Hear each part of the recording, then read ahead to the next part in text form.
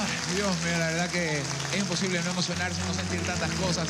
A veces nosotros estamos acá desde la comodidad, ¿no? Y pensamos que, que a veces nosotros la pasamos mal. Hay gente que realmente la pasa mal. Es imposible ayudar a todos, eso quiero dejarlo bien claro. Es imposible. Y entre más personas querramos ayudar, siempre vamos a conocer más casos de gente que necesita más y más.